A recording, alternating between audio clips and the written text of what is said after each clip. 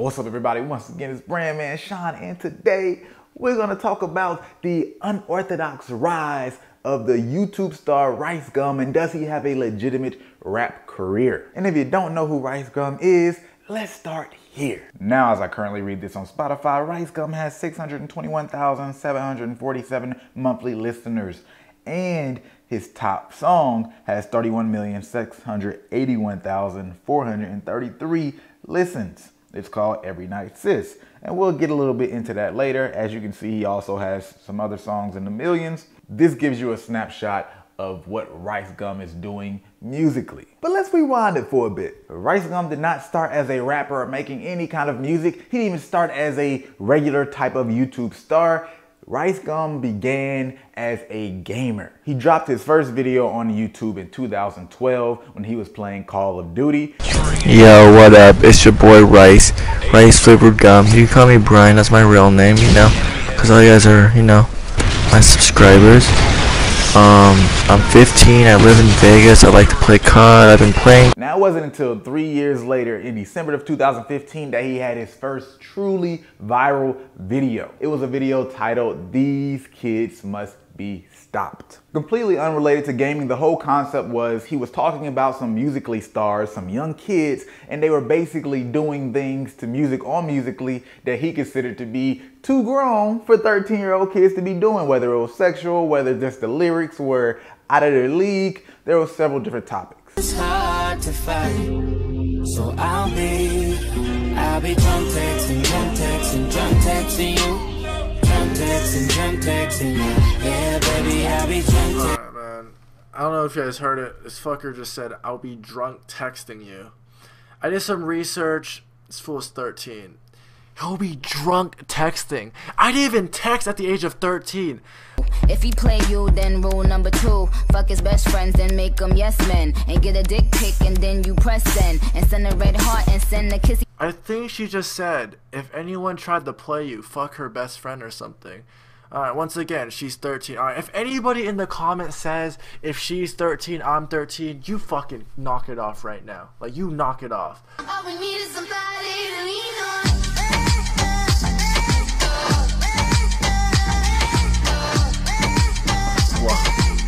Yo, miss me with that gay shit. What the fuck? Yo, everyone that's watching right now is probably pissed as fuck because like like you didn't dodge it. Like you. Now this video currently has 14 million views, and it actually sparked a period in which Rice Gum grew 800,000 subscribers in seven months. And to prove to you how this was his first truly viral video and how unsuspecting he was of the success that came of it, at the end of the video, he says this. I know you enjoyed my reaction, not necessarily like all the kids dancing and shit and doing all this other stuff, but if you enjoyed the video and want some more, please drop a thumbs up. I'm, dude, let's aim for 3K, 3,000.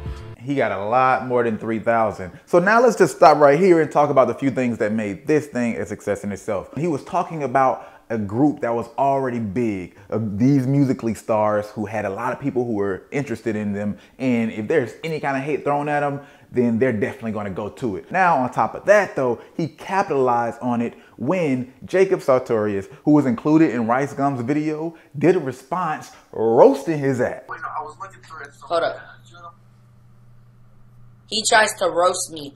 Boy, you legit look like a burned sweet potato with your little crocodile hair. Look like you got pooped out of an alien, boy.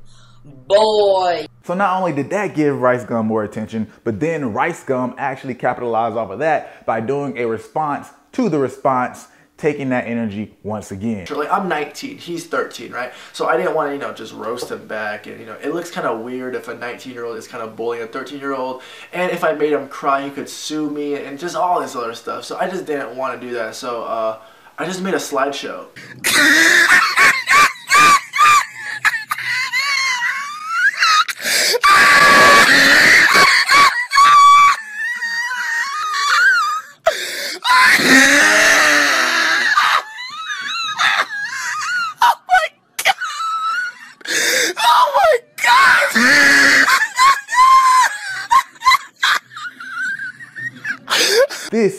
get the formula of rice gum. That little drama, that controversy became the formula for how Rice Gum continuously built his audience. He has a lot of other entertaining things and videos that he drops, but he became very much known for these roast videos. He did a whole These Kids Can't Be Stopped series or This Person Can't Be Stopped. Now he even, has a video about Tekashi 69. Things are getting a little bit weird. Me It just keeps going in one way or another. And this is when we get to his music. Speaking of drama, Rice Gum's first music tracks were diss tracks. He was making diss songs, and of course, those got a lot of attention for songs, and he wasn't really that good. He has gotten better. He's still not like the best rapper in the world, but he got plays. His most popular song is a diss track response to Jake Paul's It's Everyday Bro, titled It's Every Night Sis. And if you look on YouTube, it has over 130 million views. How you think they felt when they went home and they were dripping tears? There are a lot of real rappers who aren't getting those numbers. So what exactly does that mean? I know a lot of people might say, yo, well, yeah, that was a response diss track and it's all because of the YouTube. Nobody really likes it musically for real. But let's remember, that's on YouTube. People didn't just listen on YouTube. Go to Spotify, you'll see it has 36 million views, which brings into question, does that make Rice Gum a legitimate rapper? I think the more important thing is acknowledging the fact that YouTubers can literally become legitimate rappers despite what a lot of people are thinking because i hear a lot of people say yo man i don't want to get caught up in the youtube thing well we're going to talk about rice gum's basic formula at the end but think about cardi b when it came to strippers in the past people didn't think you could overcome that stigma of being a stripper but it's already been proven which it should have been known already. Once you have the music good enough you can transcend that and but you just have to keep performing with that music. When it comes to rice gum if his music was actually really really good i'm pretty sure that he could transcend and become a rapper if he wanted to. He doesn't even really want to become a rapper. At least it doesn't seem like it. He just does it for fun. He does these diss tracks. But he could even tour